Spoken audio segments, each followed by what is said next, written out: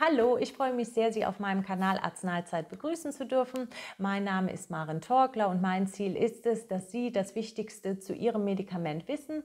Heute geht es um das Medikament Levodopa. Wir befinden uns hier im Bereich Basic. Das bedeutet, ich halte mich kurz und knapp. Wenn Sie ähm, etwas ausführlicher über Ihr Medikament Bescheid wissen möchten, dann empfehle ich Ihnen mein Video ähm, Levodopa Intensiv. Den Link dazu, den lege ich hier unten in die Infobox mit rein und ansonsten kann es jetzt losgehen.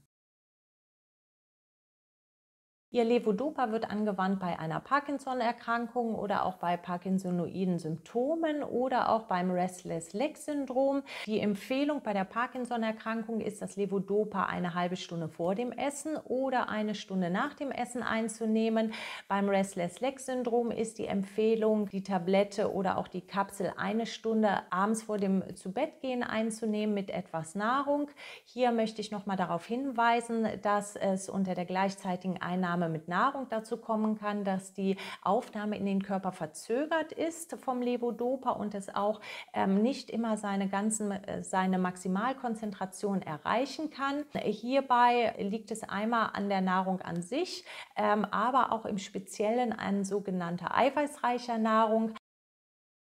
Eiweißreiche Nahrung, die kann dazu führen, dass das Levodopa nicht so gut in den Körper aufgenommen wird. Das bedeutet, wenn Sie keine Magen-Darm-Probleme haben, keine Übelkeit haben, dann wäre es wichtig, das Levodopa ganz nüchtern einzunehmen. Und äh, da spricht man am besten sogar von zwei Stunden nach dem Essen und zusätzlich einer Stunde vor dem Essen. Ich weiß, dass das immer sehr schwierig ist, weil vielfach das Levodopa sehr häufig am Tag gegeben werden muss. Aber für die Wirksamkeit ist es wirklich fundamental, weil sie da mit weniger Wirkstoff dann die gleichen äh, Ziele dann erreichen. Wenn Sie nun doch ähm, sowas wie Magen-Darm-Probleme haben oder gerade auch die Übelkeit, dann kann man noch mal versuchen, ähm, das Levodopa zum Essen einzunehmen oder kurz danach. Da ist es aber ganz wichtig, dass in dieser Mahlzeit nicht viele Eiweiße vorhanden sind. Zu Eiweißprodukten äh, gehören natürlich die Milchprodukte, die Hülsenfrüchte, ähm, die Eier, ähm, auch äh, Fleischsorten gehören dazu.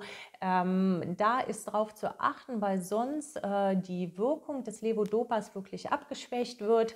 Auch wichtig ist, dass äh, wenn es zum Beispiel Schluckprobleme gibt, die bei Parkinson-Erkrankten häufiger äh, vorhanden sind, dass man das Levodopa unter keinen Umständen mit Quark oder Joghurt einnehmen sollte, auch nicht mit Pudding, weil es dann dazu kommen kann, dass das Levodopa nicht so gut in die Blutbahn aufgenommen wird und dadurch nicht so gut wirksam ist. Ein kurzer Auszug ähm, aus den Nebenwirkungen. Äh, unter der gleichzeitigen Einnahme von Levodopa kann es zu Impulskontrollstörungen kommen. Es kann zu einer Libido-Steigerung mit einer Hypersexualität kommen. Es kann auch zu zwanghaftem Essverhalten kommen. Es kann zu zwanghaftem äh, Geldausgeben kommen. Das hat alles mit äh, dieser Dopaminwirkung zu tun. Wenn Sie plötzlich bemerkt haben, dass Sie selber oder ein Angehöriger oder andere Ihnen nahestehende Personen sich plötzlich ähm, unter der Einnahme von Levodopa dahingehend äh, verändert haben, dann ist es wichtig, dass äh, mit dem Arzt zu besprechen, weil man da dann immer abwägen muss zwischen äh, Wirkung und Nebenwirkung. Es kann unter der Einnahme zu Müdigkeit kommen. Es kann auch äh, zu einem plötzlichen Blutdruckabfall kommen. Das sind natürlich Dinge, die man besonders bei der Umstellung einer Therapie auf höhere Dosen oder beim Ansetzen der Therapie beachten sollte. Äh, deshalb sollte man da genau darauf achten, ähm, ob äh, der Straßenverkehr möglich ist oder auch das Bedienen von Maschinen. Besonders bei älteren Patienten ist auch genau darauf zu achten, weil das natürlich auch alles Kriterien sind, die Stürze äh, verursachen können. Da sollte man immer ganz sensibel drauf sein, gerade dann in, in so einer Umstellungsphase. Unter der Einnahme kann es zu Blutbildveränderungen kommen. Ähm, bestimmte labordiagnostische Messmethoden können auch ein bisschen verändert werden. Deshalb ist es wichtig, dass Sie besonders am Anfang ähm, der ähm, Levodopa-Therapie eine ähm, häufige Blutkontrolle Kontrolle ähm, bekommen, dass man da schaut, dass ähm, durch das Levodopa nicht äh, dadurch Nebenwirkungen entstehen. Auch kann es unter der Levodopa-Einnahme zu einer Verfärbung kommen, einer Verfärbung des Hahns, einer Verfärbung der Mundschleimhaut, der Zähne und auch des Speichels. Unter ähm, der Einnahme ist die Depressionsneigung erhöht, obwohl man dabei nicht genau äh, weiß, ob das an der Parkinson-Erkrankung selber liegt oder an dem Mittel, weil natürlich die Parkinson-Erkrankung auch mit dem Risiko, eine Depression äh, zu entwickeln, ein wenig erhöhter einhergeht. Da Parkinson-Patienten ein erhöhtes Risiko haben, ein Melanom zu entwickeln, das um das zwei- bis sechsfache erhöht liegt, ähm, ist hier daran zu erinnern, dass Sie immer ähm, die Hautkontrollen regelmäßig machen sollten. Ähm, man weiß nicht genau, ob es an der Parkinson-Erkrankung selber liegt oder an dem Levodopa. Also sprich jetzt äh, an alle, die äh, das Levodopa bei Restless Leg Syndrom einnehmen. Trotzdem ist es gut, immer auf die Haut zu achten und da regelmäßig Kontrollen dann zu machen, dass man das dann wirklich genau im Blick hat. Ein kurzes Wort zu den Wechselwirkungen. Ich äh, nenne hier auch nur einen kleinen Auszug wieder, weil ich nicht alle Wechselwirkungen abdecken kann. Die gleichzeitige Einnahme von Eisen, die kann dazu führen, dass die Plasmaspiegel des Levodopas um 50 Prozent gesenkt sind. Das bedeutet für Sie, wenn Sie Eisenpräparate einnehmen, dann achten Sie darauf, wirklich zwei Stunden Abstand zum Levodopa zu halten, wenn irgendwie möglich. Ähm, wenn Sie dann aber merken, dass ähm, Ihre Symptomatik irgendwie sich verschlechtert, weil das Levodopa vielleicht doch aus irgendeinem Grund nicht so gut wirksam ist, dann sprechen Sie auf jeden Fall Ihren Arzt darauf an. Äh, da muss man dann schauen, ob man dann ähm, vielleicht das Eisen über einen anderen Weg dann zuführt. Unter der gleichzeitigen Einnahme von Domperidon kann es äh, verstärkt zu Herzrhythmusstörungen kommen. Das Domperidon, das kommt aus der gleichen Wirkstoffklasse wie das MCP. Beide äh, Wirkstoffe nimmt man äh, gegen Übelkeit ein, die auch sehr gut gegen Übelkeit wirksam sind. Ganz wichtig ist hier nochmal zu erwähnen, dass das MCP äh, bei Parkinson-Patienten nicht verordnet werden darf, weil es äh, da kontraproduktiv wirkt.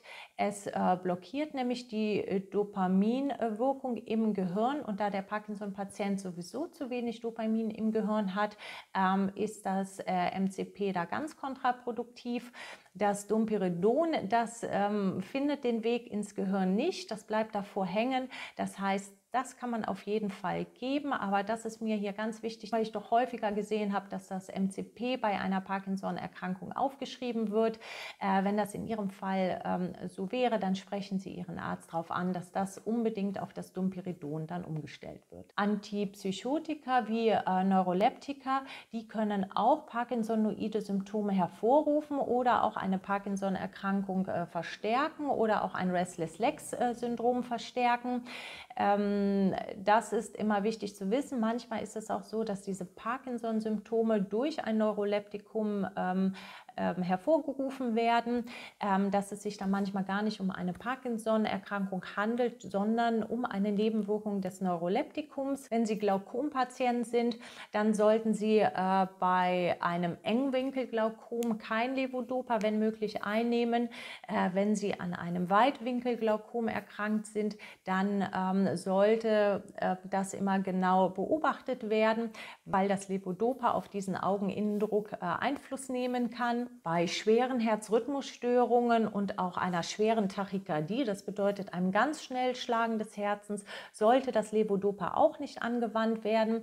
Wenn Sie nun ähm, leichte Herzrhythmusstörungen haben oder zum Beispiel auch eine koronare Herzkrankheit vorliegt oder Sie auch einen Herzinfarkt in der Vorgeschichte hatten, dann ist es nochmal wichtig zu erwähnen, dass regelmäßig EKG-Kontrollen gemacht werden. Ganz wichtig zum Anfang der Therapie und dann aber auch regelmäßig in bestimmten Abständen, weil äh, das Levodopa auf äh, zum Beispiel Herzrhythmusstörungen Einfluss nehmen kann. Und deshalb muss man da immer genau schauen, dass diese Nebenwirkung nicht auftritt und dass man das auf jeden Fall dann im Blick hat.